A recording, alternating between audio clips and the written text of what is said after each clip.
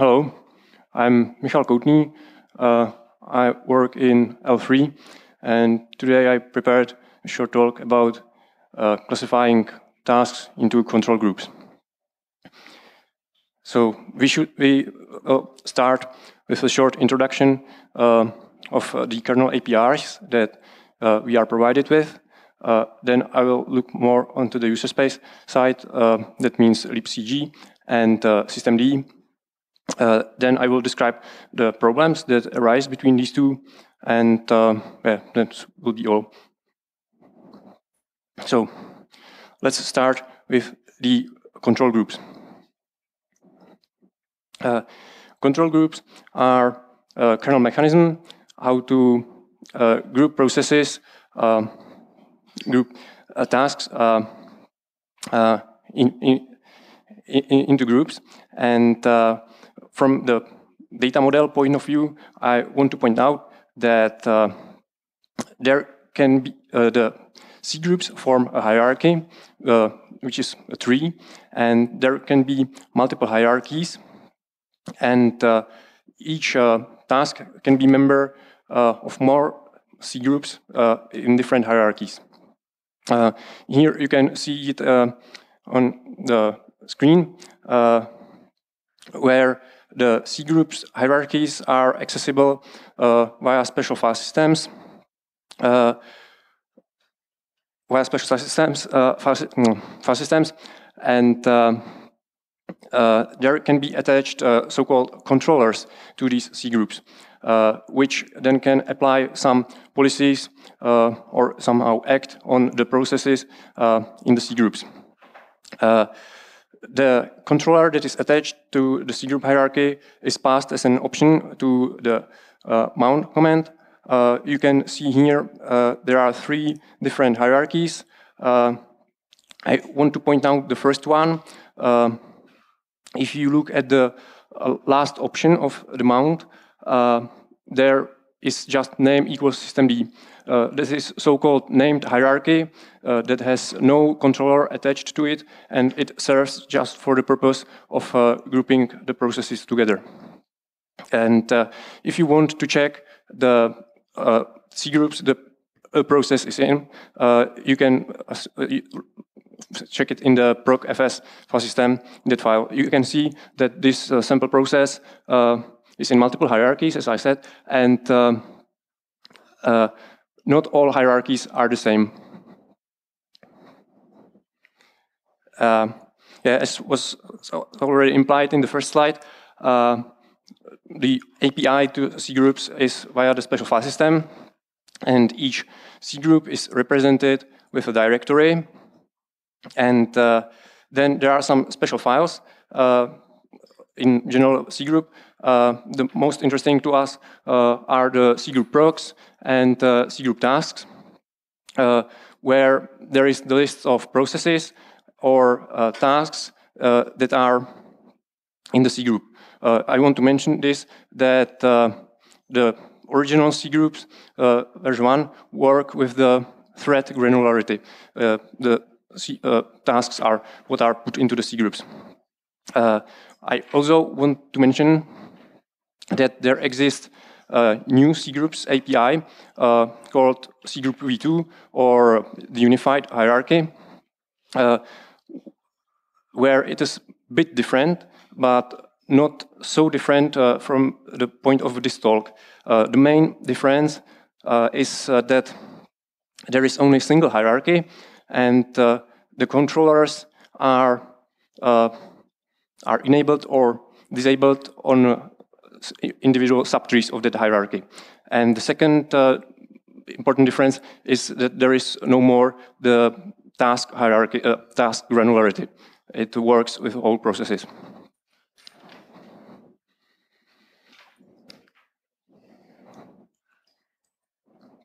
Uh, another interesting API uh, are the sockets, uh, our netlink sockets uh, for, with special address group uh, called uh, CNID IDX proc, which allows a user space application listen to events related to process creation.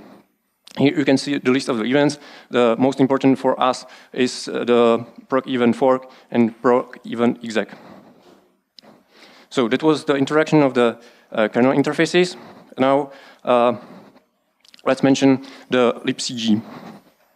Libcg uh, is a, a, project that consists of uh, several components. Uh, I will mention the two most important one and mention some complements. the first one is CG config parser, which allows the user to define the structure of C groups and uh, then attach uh, the controllers to these uh, hierarchies, to these defined structures. And it also ensures uh, that the hierarchies are mounted in the desired uh, path in the file system. Uh, so this defines the structure of the groups. And the second component, very important, is the CG rules engine daemon that, uh, that builds upon that API I mentioned before, and it applies specific rules on processes. Uh, the rules are defined uh, in text configuration file. Uh, here we can see that uh, it uh, is quite rich what we can specify. the first column specifies the type of the processes. The second column specifies uh, the controllers or the hierarchies. And the last column specifies uh, where is the destination in the hierarchy. So the first row says that uh, all processes of uh, users from the group students uh, will be put under the C group uh, students slash and the username of the user. And it will apply to the hierarchies of CPU and CPU accounting controllers. The second row uh, demonstrates another uh, interesting uh, feature. Uh, it applies just to the processes of uh, user student, but not all processes, but only processes that runs uh, that run CP command. And it will apply to all, all controllers and it will be put under the specific hierarchy. So that's to demonstrate what is possible with libcg. Uh, so this all happens automatically. And then there are also uh, manual helpers uh, where you can start when you can start your processes uh, in a C group that you specify. And uh, then there is some kind of uh, batch mode instead of the CG rules engine where you can classify given processes according to the configuration. Uh, yes. Now, uh, the systemd stuff. So, uh, yeah, when I'm talking about systemd here, so I mostly uh, mean PID1, unless I uh, specified otherwise. So, uh, systemd uh, does that, it mounts the C group file systems, and it makes sure that all the processes it's somehow aware of are put into the specific C group. Uh, from the, in, or in the abstraction of systemd, uh, the units that run some processes are services and scopes. But also, uh, there are units that run some processes implicitly. For example, mount units also run processes, and those are also put under specific uh, C groups. Uh, yeah, and systemd uses uh, the C groups uh, to track the processes so that it knows uh, what processes are part of which service, and it can detect when the service, for example, terminate. And uh, it also is used to realize the resource limit. Uh, probably, you know, the infamous PID controller, which happened in C12 SP2 uh, with introduction of systemd v, v228, where the default uh, for the service C group was just uh, 512 uh, tasks, uh, which was not enough for some services that uh, spawned many threads.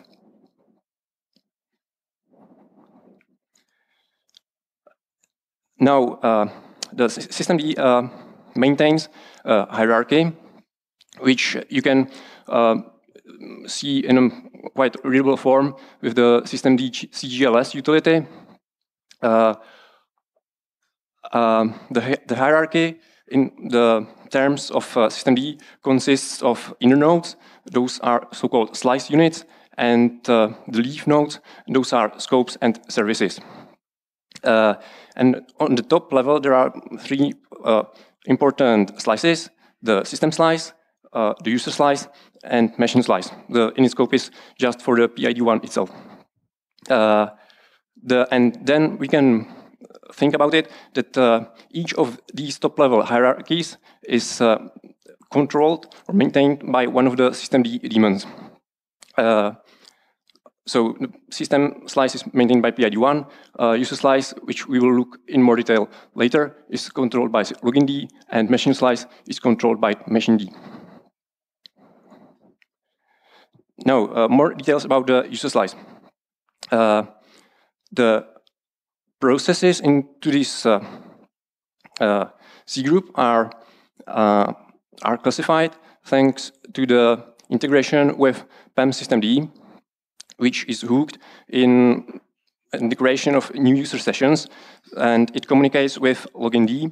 and login D then creates a special slice for each user, and under each slice, there are scopes for each session of the user.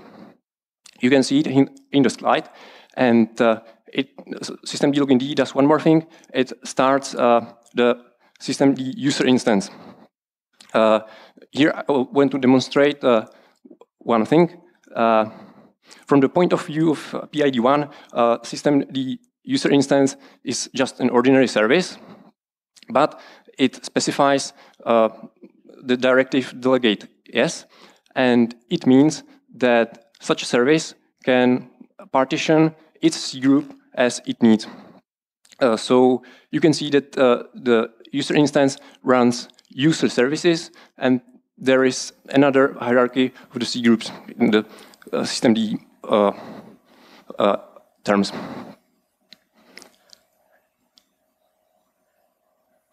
Yes. So that uh, that was uh, the interaction about the systemd. Now uh, let's move on to some problems that are with these approaches. Uh, first one, uh, uh, at first, when I learned about this API, I thought that it's great when you get such notifications and you can classify processes, for example, by the executable so that you can put all your CP commands into one C group. Uh, I mean, uh, it needn't be CP command, it can be something else.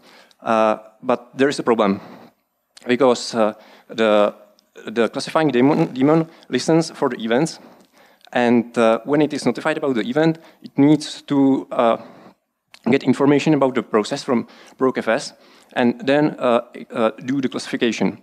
But the actual process runs in parallel. So, uh, do, do you see what is the problem with this?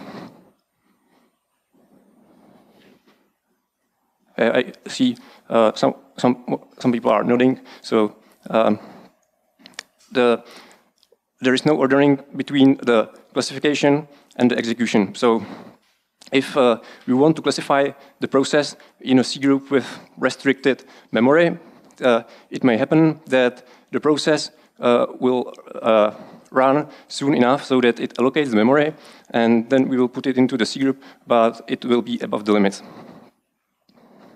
So the solution to this problem solution is uh, to avoid such racy uh, API and uh, do the things in an orderly fashion so that uh, we first uh, classify the process, which might be just some helper process that was created soon after fork, and only then we start uh, the main program.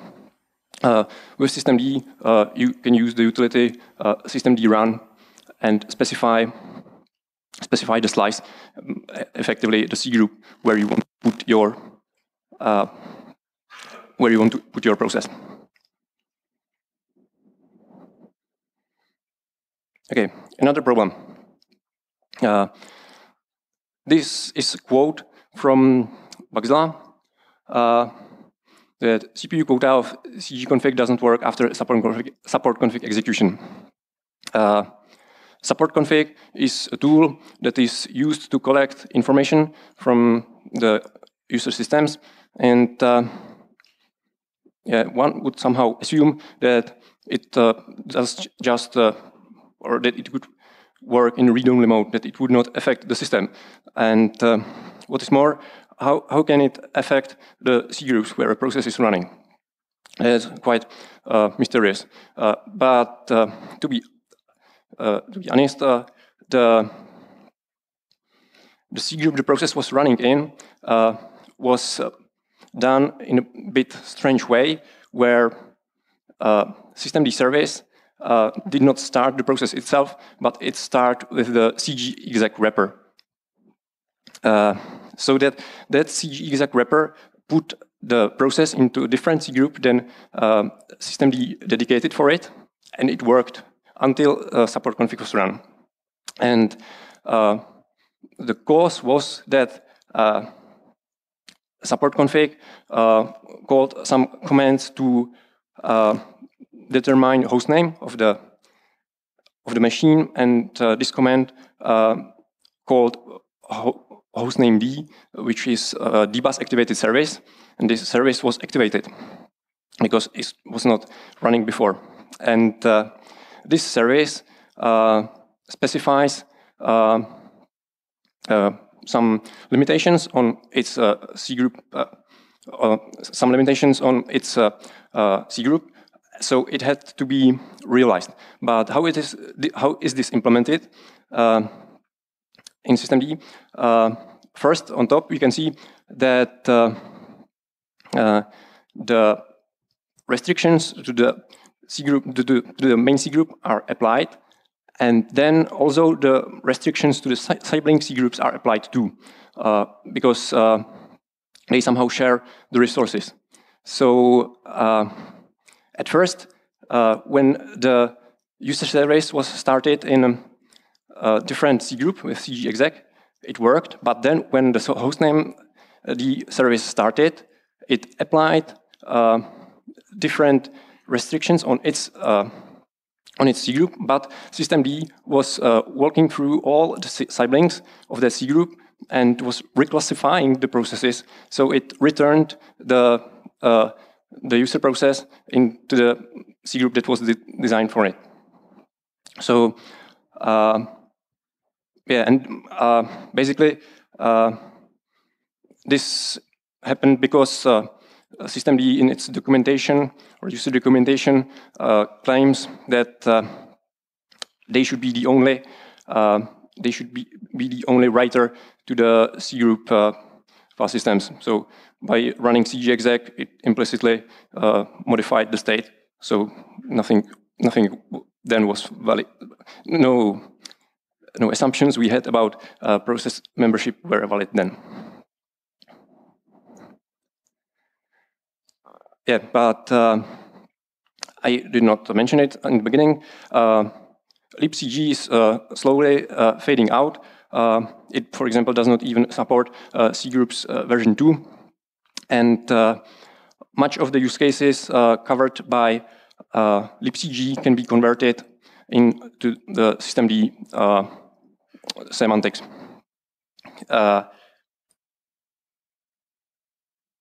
yes. Um, uh, here uh, it was is, is worth mentioning that in SLE 11 there was no systemd, so there was apparently not the conflicting problem.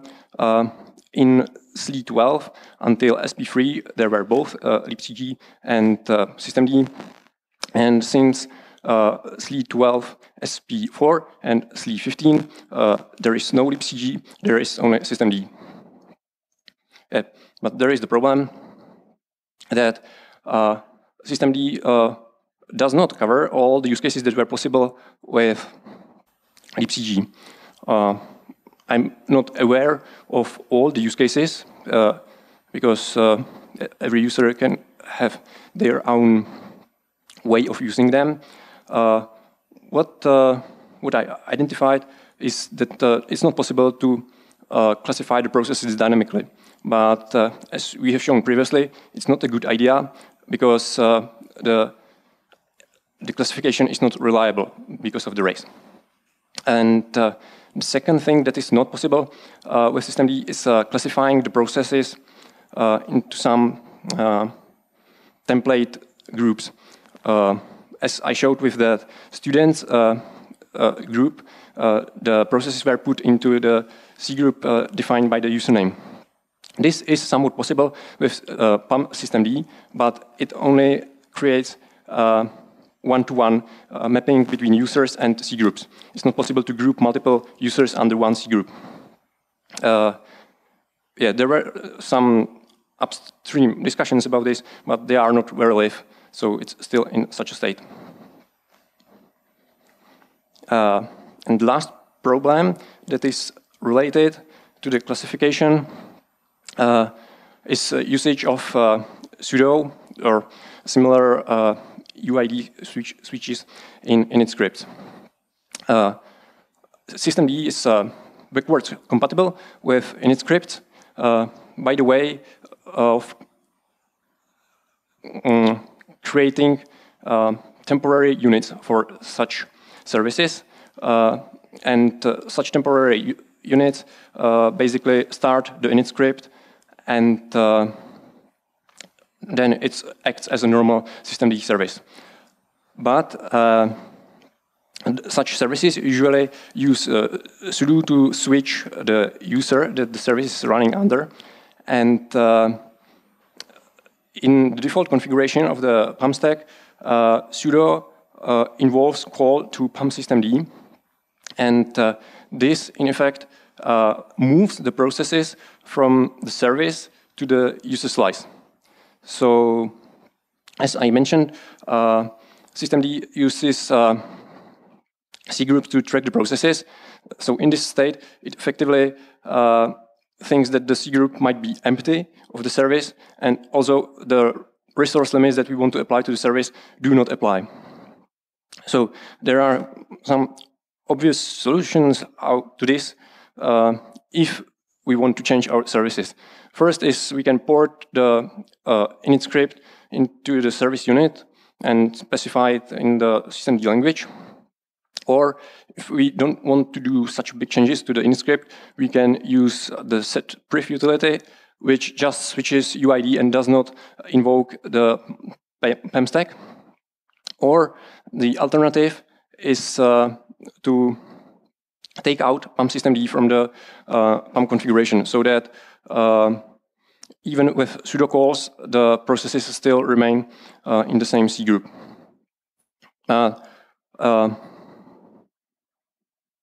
Uh, uh, it's uh, yeah, it's a question if uh, what it should mean uh, uh, for the service when it's running under a different user, if it should be still under the system slice or under the user slice. So uh, it's also a point for discussion. Yeah, so uh, the, this is a summary of the presentation. we saw that C groups are universal uh, the API, uh, that libcg uh, provides rich possibilities, but not so reliable.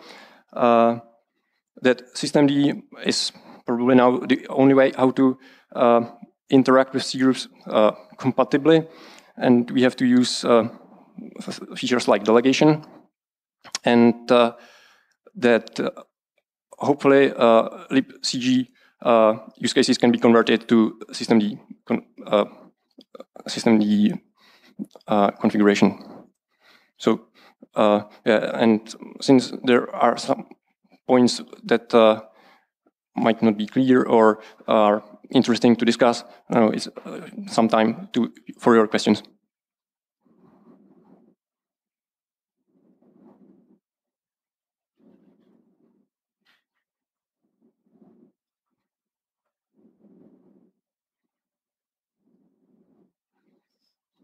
Okay. Uh, it sounds strange to have two uh, independent processes controlling that uh, independently of, of, each other anyway. So uh, strange that it ever worked, I would, I would say, in a, in a way. Um, ah, thank you. So.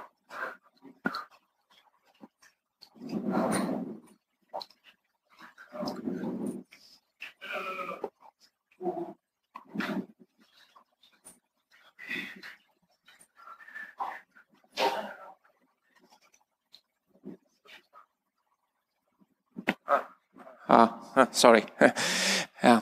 It sounds strange to have two independent controlling processes for, for things like that. Um, um, but um, so I, am wondering why it ever worked, basically, uh, to have um, systemd on one hand and then uh, um, uh, these uh, rules engine D on the other hand. Um, the, but uh, wouldn't it be possible to have um, systemd option to like exempt a certain uh, process from systemd? uh, C group control. So that that sync process which you had where where the problems occurred would um, controlled by by something else basically.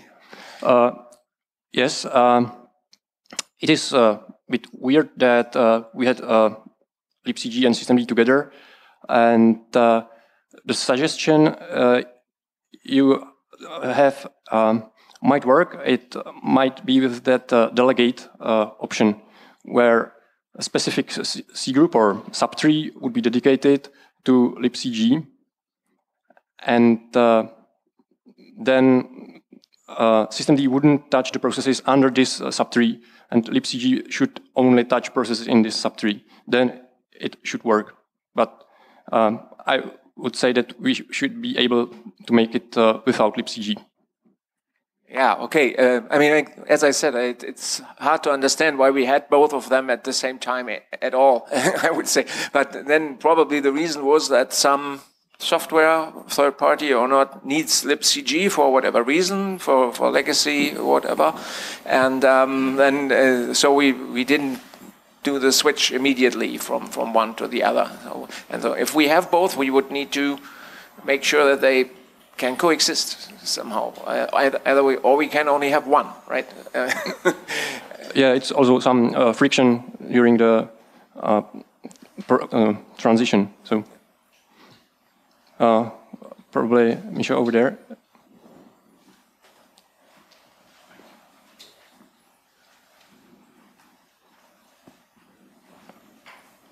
Okay, so there are basically two reasons why they two two of them exist. Uh, the one is historical, that libcg precedes uh, it's much more older, or, uh, older than, than systemd. Uh, and it used to be the thing to use before systemd took over basically the world and beyond. And how they can do coexist is a bigger problem because systemd tends to think that everything in the world just uh, belongs to its popper uh, there used to be a document how to basically behave just to make multiple users of the same uh, uh, C group hierarchy. And it worked until, you know, those different decisions uh, that were made. But uh, yeah, the main problem with uh, libcg is that uh, the project basically has been abandoned by the, the um, upstream and yeah, so it's gone. But um, until then, the only reasonable workaround is to basically not use it with uh, systemd long. Which means not using it at all in, in current user distributions, basically. yeah. Uh, you, you, can use it in SLE 11 as before.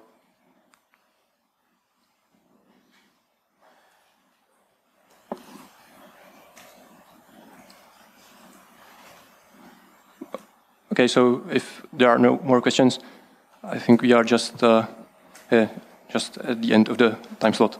So thank you.